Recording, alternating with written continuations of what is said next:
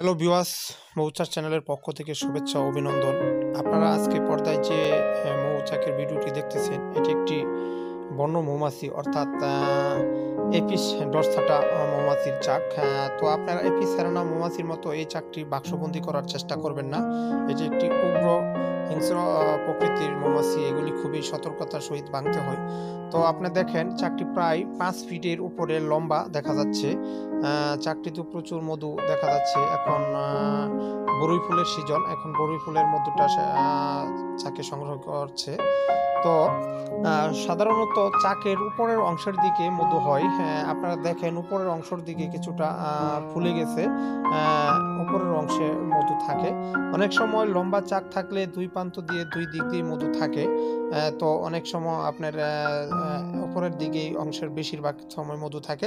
আপনারা এগুলি যখন ভাঙবেন অবশ্যই সতর্কতার সহিত ভাঙতে হবে। আর অভিজ্ঞতা না থাকলে কেউ এ ধরনের চাক ভাঙতে যাবেন না। তো বিওয়াজ আপনারা যারা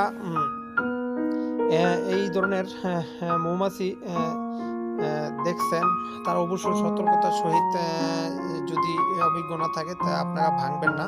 তো এই পিস ডরসাটা চাকগুলো সাধারণত গাছের বিভিন্ন ঢালে বিভিন্ন পাহাড়ের চূড়ায় এরকম প্রকৃতিতে এরা করে।